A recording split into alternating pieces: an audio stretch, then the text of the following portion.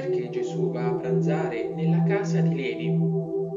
Se è venuto a sanare i malati, perché non va a pranzare con i farisei e gli scrivi? Oppure considera i farisei delle persone sane. Il problema non è ciò che Gesù pensa dei farisei, ma ciò che loro stessi pensano di essere.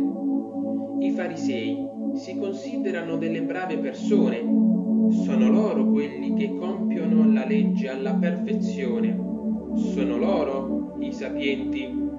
Ricordiamo però che nessuno può sanare un malato che non accetta di avere bisogno di un medico. Levi invece è la persona in ricerca, è colui che non ha paura di lasciarsi interrogare dai suoi limiti.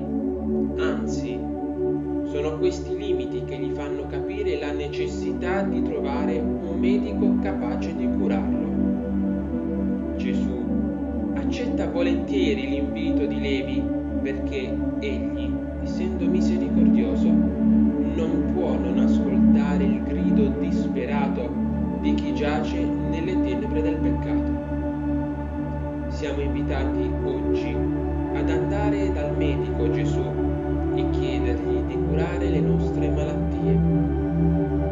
Prendiamo l'esempio di Levi che ha saputo fidarsi del Signore e gli ha aperto generosamente la sua casa e il suo cuore.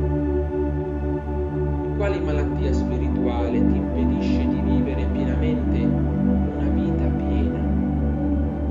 cosa potresti fare per cominciare il tuo cammino?